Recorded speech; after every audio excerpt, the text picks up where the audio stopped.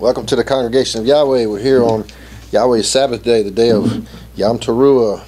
Uh, today's message is just going to be covering, you know, uh, some of the significant things going on during the feast, uh, behind the scenes, and how some things tie together.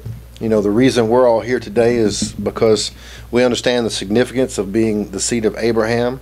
We realize that the Messiah did not come to start a new religion or to usurp the religion or the faith that was uh, passed down from uh, his ancestors. And we realize that uh, the church is not a new entity and that the congreg- congregation of Israel was his called out people. And the, the feast days have been you know discarded and, and overlooked by the twisting of scriptures, taking things out of context. And uh, I want to first touch on Colossians chapter 2, which is, you know, one of the most used verses to do away with. And I'm just going to I'm not going to go into great detail. We've we've studied these things in depth in many other messages, but I just want to point out a few things in Colossians chapter 2 verse 14 it says blotting out the handwriting of ordinances that was against us which was contrary to us which uh, and took it out of the way nailing it to his stake or nailing it to his cross uh, everybody wants to nail something to the stake uh, most of, of mainstream Christianity likes to nail the Mosaic law to the cross. You have some divisions that like to nail the feast days or circumcision to the cross, but it's very easily explained in the verse right before it.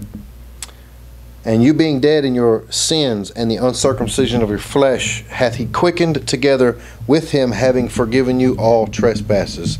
It was our trespasses that were nailed to the cross. When he became sin for us, that is what was taken uh, to the stake.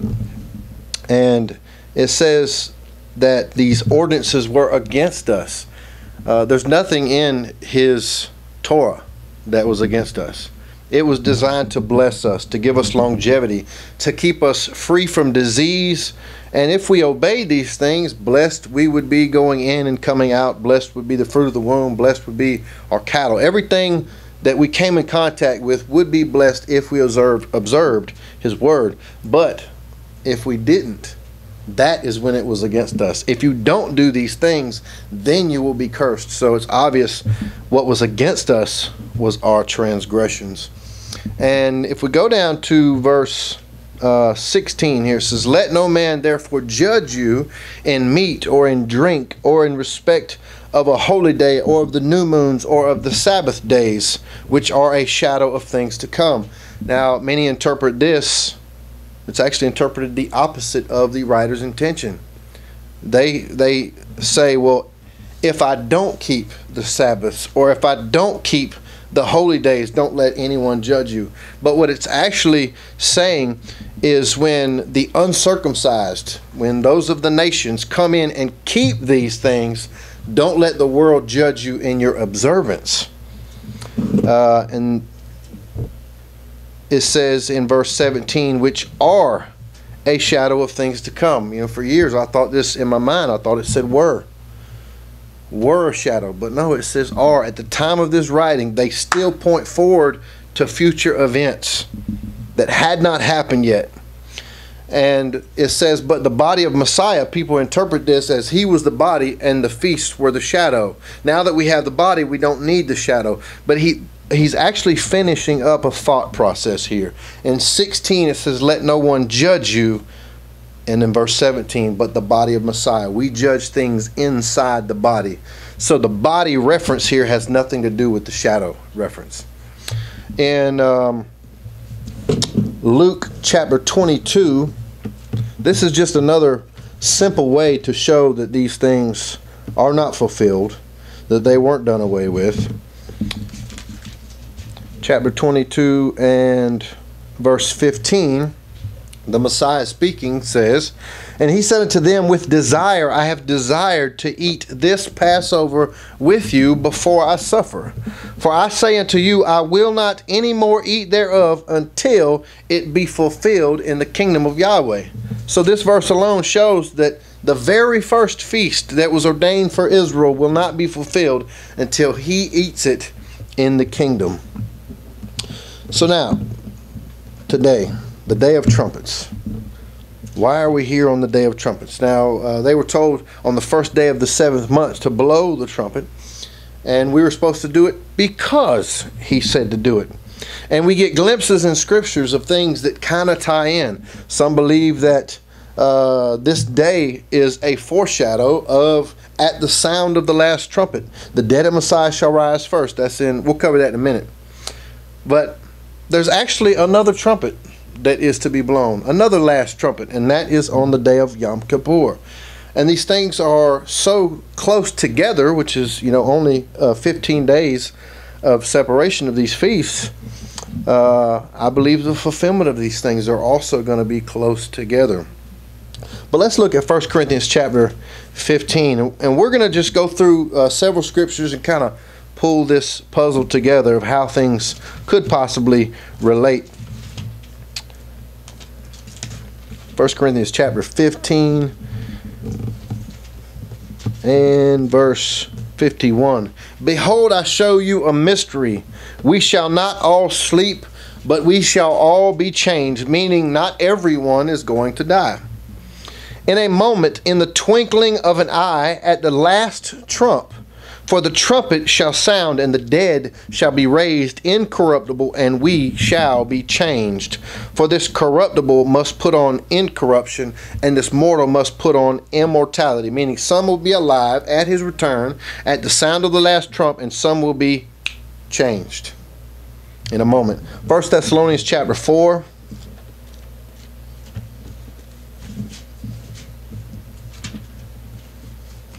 And We'll start in verse 13 of chapter 4. But I would not have you to be ignorant, brethren, concerning them which are asleep, that you sorrow not even as others which have no hope. For if we believe that Yeshua died and rose again, even so them also which sleep in Yeshua will Elohim bring with him. For this we say unto you by the word of Yahweh, that we which are alive and remain unto the coming of the Master shall not prevent them which are asleep.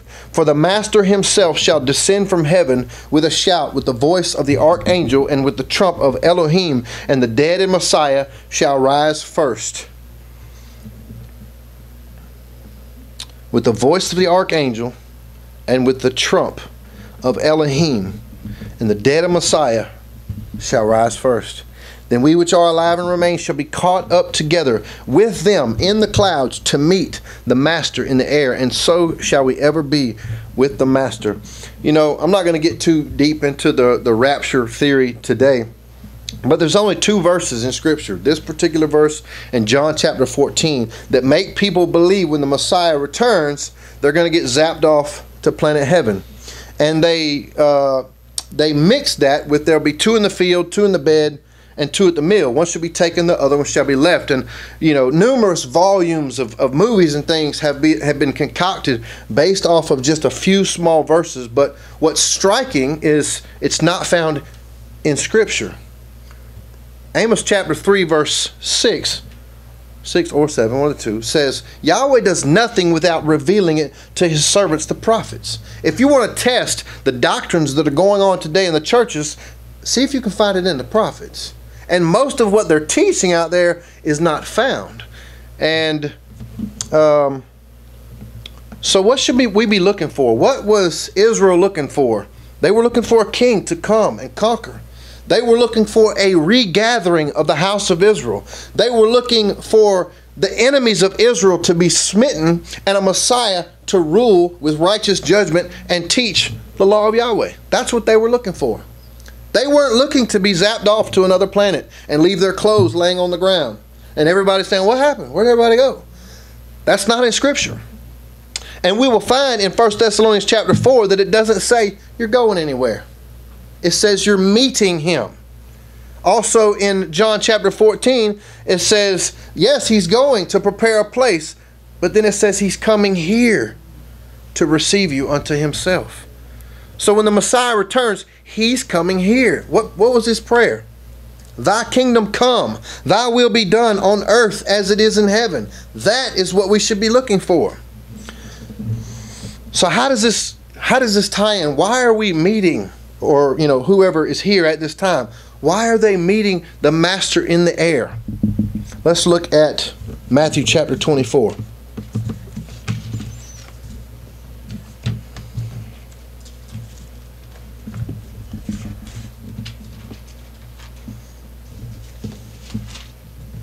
At the beginning of 24, they ask, What are the signs of these things? What is the signs of the end of the age?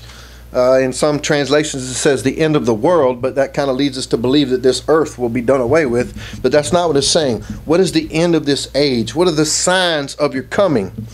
And uh, you can go back and you know read some of these signs for yourself. But I want to I want to uh, get to the point here in verse uh, 26. Wherefore, if they shall say unto you, Behold, he is in the desert, go not forth. Behold, he is in the secret chambers, believe it not. For as the lightning comes out of the east and shines even unto the west, so shall the coming of the Son of Man be. Does that sound like a secret zapping away? Revelation says, Every eye will see him. And I'm not I can't remember what verse uh, that was, but it's going to be seen as lightning shines from the east to the west. And this is a cryptic uh, statement here. The next one, for wheresoever the carcass is, there will the eagles be gathered together. And if you read the story in Luke, it says, one shall be taken, the other one shall be left. And they said, well, where are they going to be taken? And he says, wheresoever the eagles are, there the, the carcass will be. Those who are taken will be taken and fed to the fowls of heaven. We don't want to be taken. we want to be left.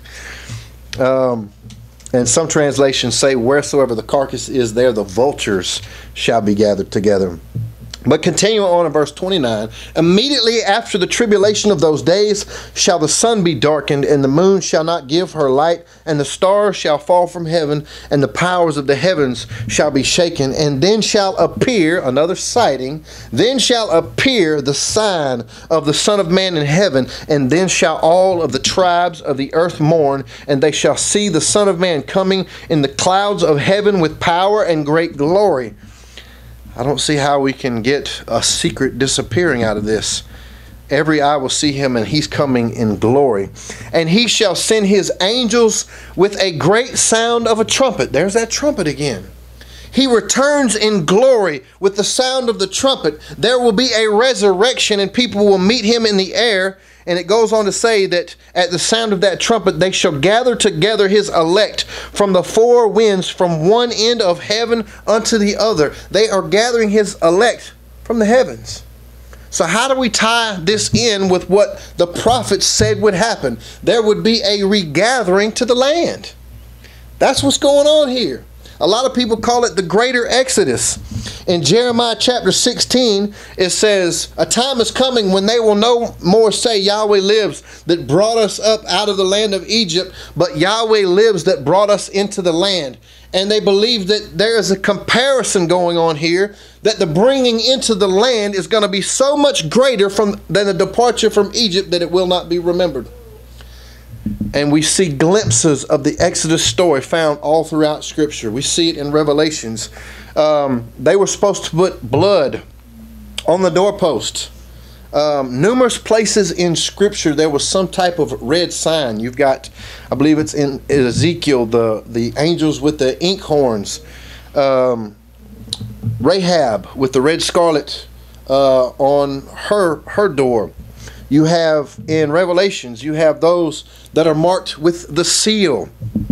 All of the imagery that we see in the Exodus story is seen in Revelations. It says that he was he brought them out on eagle's wings. Well, there's a there's a group in Revelations that's uh, taken into the wilderness on eagle's wings.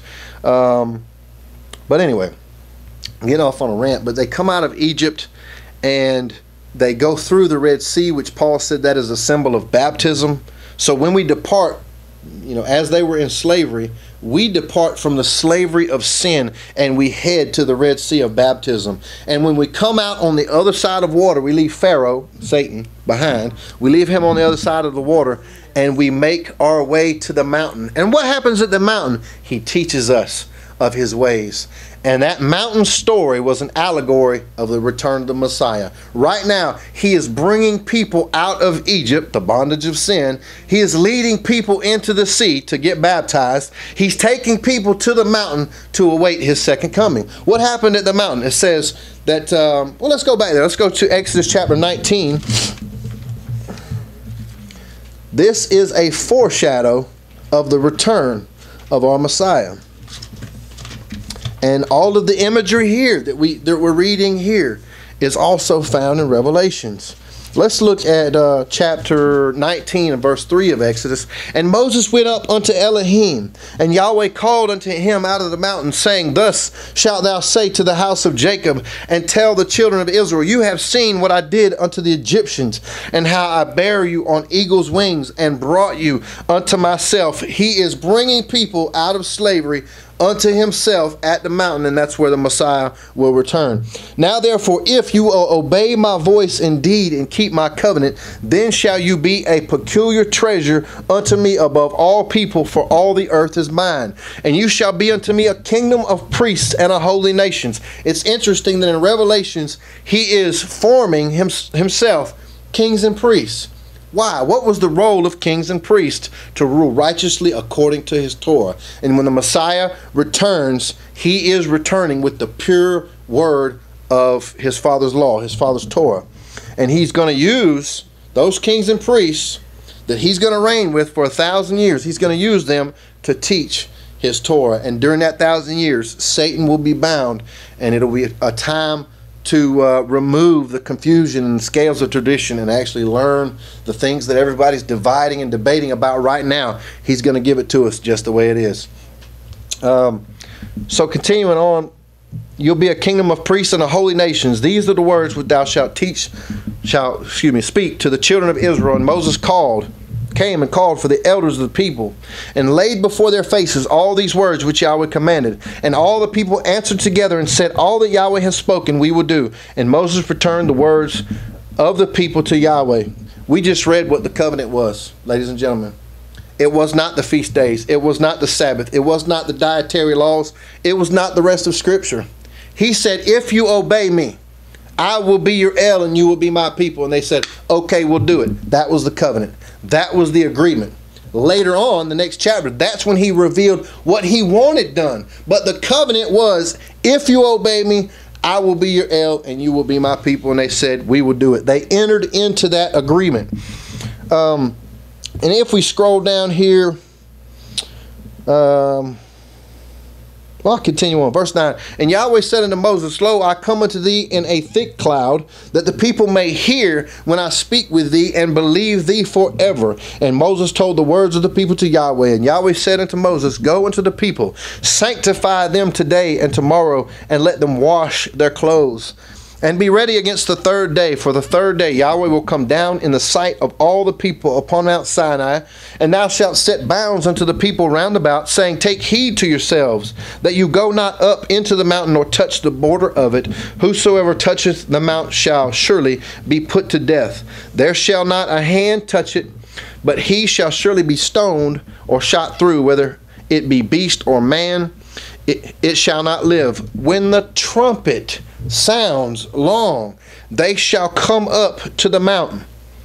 And when his trumpet sounds, that's where we're headed to the mountain. We'll get more more on that in a minute. And Moses went down from mount from the mount unto the people and sanctified the people, and they washed their clothes. In Revelations, it says that this group, these kings and priests, washed their robes in the blood of the Lamb, and, and um, says they follow the Lamb wheresoever he goes. And Moses went down from the mount unto the people and sanctified the people, and they washed their clothes. And he said unto the people, Be ready against the third day, come not at your wives. Possibly tying in with Revelations where it says they are virgins. And Paul said that he had presented the church as a chaste virgin. So it's allegorically, not literal. And it came to pass on the third day in the morning that there were thunderings and lightnings and a thick cloud upon the mountain, and the voice of the trumpet exceedingly loud, so that all the people that was in the camp trembled. This verse is just about quoted verbatim in Revelations. It says there was an ark seen in the heavens, and there were lightnings and thunders and you know all that.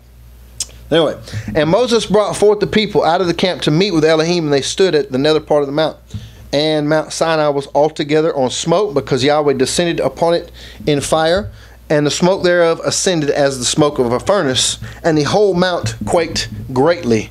And when the voice of the trumpet sounded long, and waxed louder and louder, Moses spake, and Elohim answered him by a voice. And when that trumpet sounds long, the voice of Yahweh his word will be coming in the clouds of heaven. Hallelujah. And it's interesting that right before this chapter, I believe this is also allegorical of the kings and priests. In chapter 18 and verse 21, it says, Moreover, thou shalt provide out of all the people able men, such as fear Elohim, men of truth, hating covetousness, and place such over them to be rulers of thousands, and rulers of hundreds, rulers of fifties, and rulers of tens. Let them judge the people at all seasons, and it shall be that every great matter they shall bring unto thee, but every small matter they shall judge. So shall it be easier for thyself and they shall bear the burden with thee.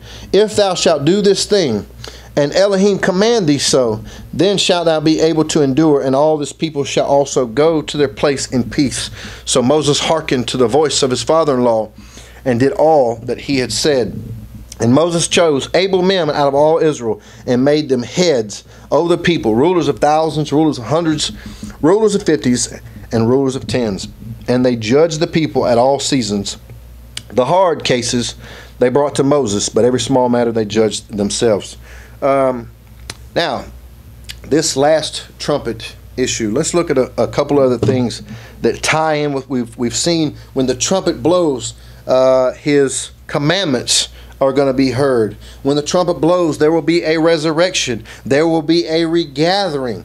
Uh, Isaiah chapter 27 and also, at the sound of the trumpet, there will be a gathering to the mountain. Chapter 27 and verse 13 It shall come to pass in that day that the great trumpet shall be blown, and they shall come which were ready to perish in the land of Assyria, and the outcasts in the land of Egypt, and shall worship Yahweh in the holy mount in Jerusalem. Let's look at Isaiah chapter 2. Isaiah chapter 2 and verse 2. And it shall come to pass in the last days that the mountain of Yahweh's house shall be established in the top of the mountains, and shall be exalted above the hills, and all nations shall flow to the mountain. And many people shall go and say, Come you, let us go up to the mountain of Yahweh, to the house of the Elohim of Jacob, and he will teach us of his ways, and we will walk in his paths. For out of Zion shall go forth the law and the word of Yahweh from Jerusalem. In the last days, a mountain will be established, and his law, his Torah, his word will go forth from Zion. And I believe that will be accomplished through kings and priests. In Ezekiel 34,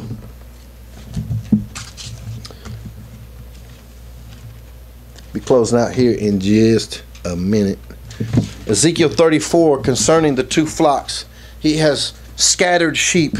And in verse 5, it says, And they were scattered because there is no shepherd. The way the sheep get scattered is by not having a shepherd that's feeding them. And they're supposed to be fed on green pastures, which is the word. And they need water, which is the spirit. But the false shepherds trample the pastures and muddy the waters, and they only feed themselves in the Gospels it says that the Messiah looked at the crowds and had compassion on them because they were they were as sheep that had no shepherd. And I guarantee you he had this in mind.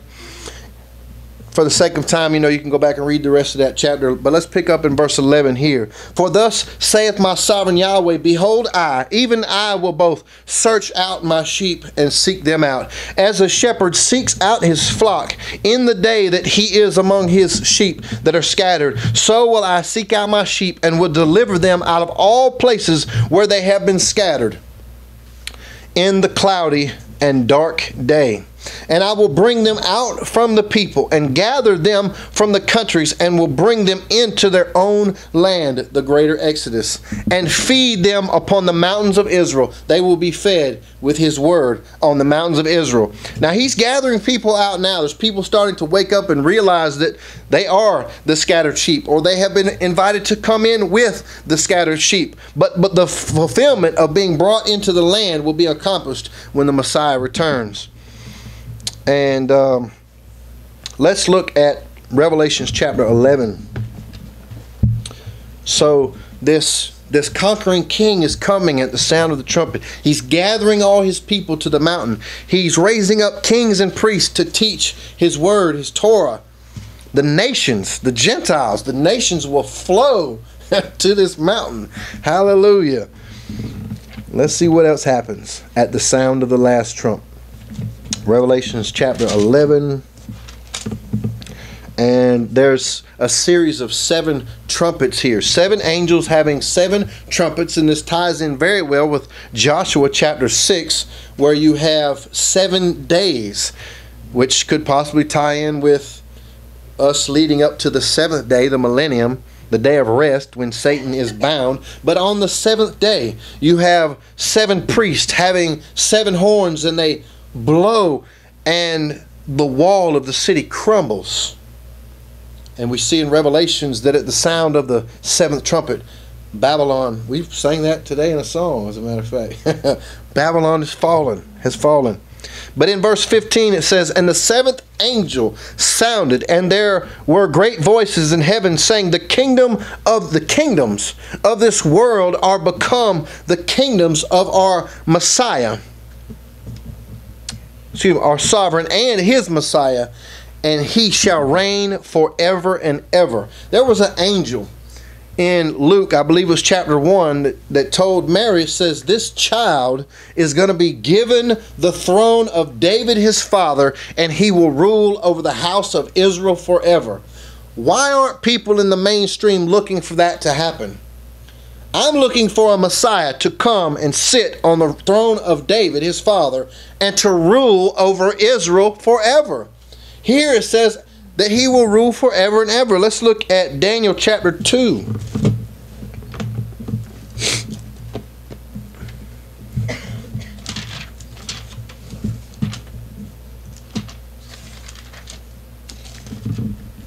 Daniel chapter 2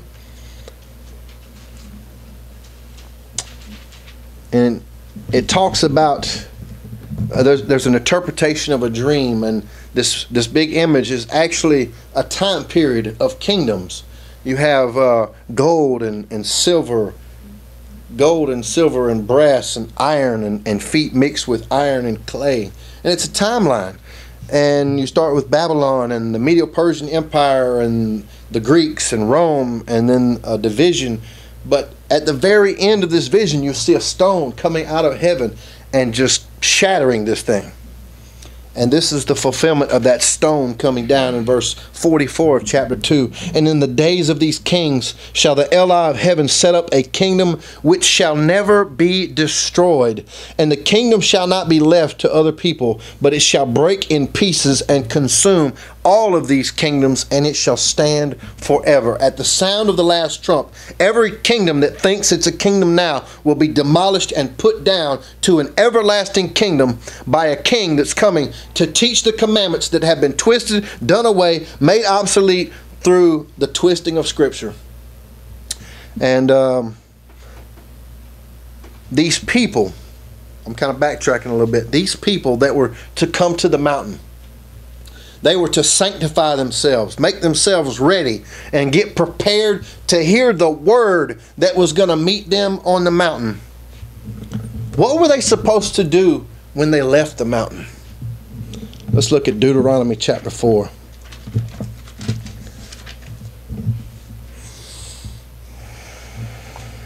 Verse 1 Now therefore hearken, O Israel, unto the statutes and unto the judgments which I teach you, for to do them, that you may live and go in and possess the land which Yahweh your Elohim your fathers gives you. Going back into the land. You shall not add unto the word which I command you, neither shall you diminish anything from it, that you may keep the commandments of Yahweh your Elohim, which I command you. The only way to keep his commandments is by not adding to it or taking from it.